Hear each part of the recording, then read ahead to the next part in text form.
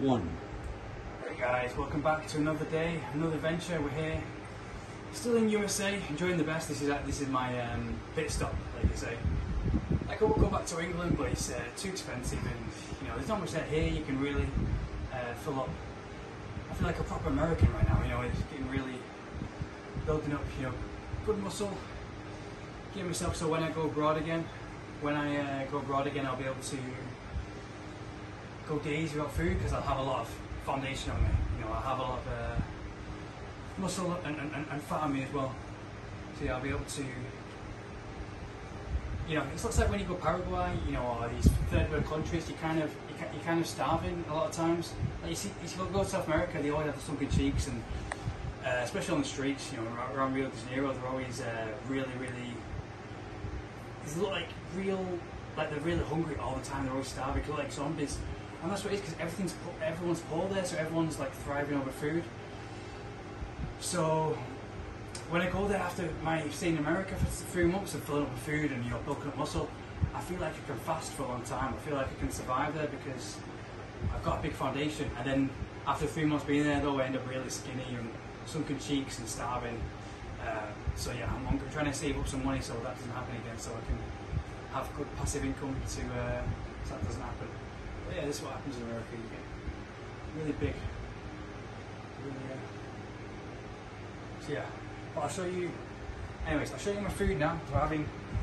This is what I'm eating: potatoes, potato wedges. Got my TV dinner, and we got. Uh, I'll show you the, the food we had in this um, famous Italian bakery. So look at that. We got this. We got strawberry cheesecake, which is absolutely delicious. We went to this special Italian place, and it had all this stuff that's really fresh, like fresh ingredients. And it, like I said, it, like I showed you, showed you in the last video, it looked like something out of uh, South America. It like you're in a small little town in, in Italy. You just walk in and you see these places that just look like um, like you walk down like, like, like Naples. You walk, walk down the, the streets of Naples. It's absolutely beautiful. And you walk in these places that are run by an Italian grandma she was actually Italian, and we got the famous cannoli. All this American food, you can only get this stuff in America. That's a real cannoli. If you watch Sopranos, you've heard them talk about cannolis all the time. And this, I'll show you my food.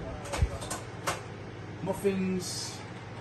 These are real pastries. You find these in New York, uh, in like Little Italy. Yeah, but America's the best of food. But the only, the only thing you have to watch out for is the corn syrup, because everything has corn syrup in it. Um, and that's why the first week I was so full of energy, so agile, but after a while I started to bulk up muscle and it just, you know, when you bulk up muscle, you feel like, if you bulk, if you bulk up like, you know, really good muscle, you feel like it's a lot to maintain, you know, because you, you're having extra weight on your body. So you wake up and you're walking, you're sometimes aching. So sometimes when I used to just do push-ups and I was really light and just do push-ups, sit-ups and squats, I kind of felt a bit healthier, a bit more agile, a bit more athletic because I was more, more toned. But now I'm kind of like um, putting on some muscle. It kind of aches a, lot as well. So that's the good. So people see really ripped guys, these big guys. It really aches unless you've got a lot of protein. Like unless you're like, but that costs a lot of money to spend all that money on food. Um, so yeah, is. So I bought this some liver.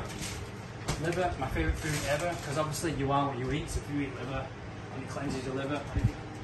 And I keep saying to everyone, if you have a clean liver, then you have, if you look after your organs, then you look after your entire body.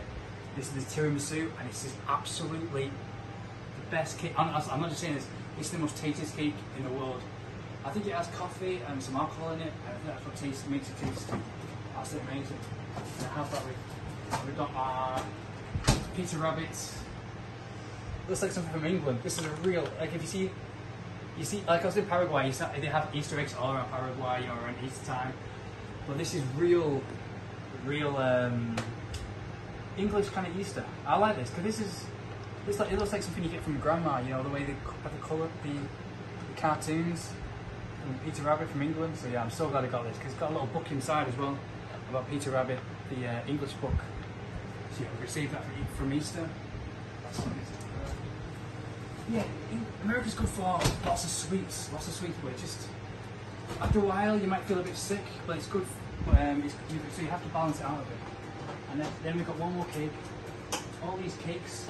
This is the third cake, and this is real cheesecake. You look at that. That is all real thick cheese. Not like the cheesecakes you see in England where it's really thin. This is real cheese, like real thick cheese. And yeah, we've got lots of stuff. And we've got these drinks here. These drinks here, we have these. Really tasty, really good for. Uh, I had these when I was gardening or working out.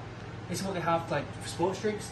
But if you look at the back here, it's like 21 grams added sugar and all these different uh, ingredients I've never heard of. Water, sugar, sugar, sugar, uh, you know, sodium, all these different ingredients you don't need to have. And it's like, yeah, 22 carbs, 21 grams of sugar, and it's like, that's, that's like, that's like half of, half of, yeah, half of what you need in a day. It says 41% of your recommended daily allowance, allowance of sugar. So that's one thing. American food is the best in the world because there's food all around the world. But you just got to watch out for the the high fructose corn syrup. That stuff is poison, um, and that's in all the food, and that's what makes Americans so addicted to the food. Like if I stay here, even now I feel it. Like I have cravings like for, for this and that, and I'll, yeah, I have these all these cakes.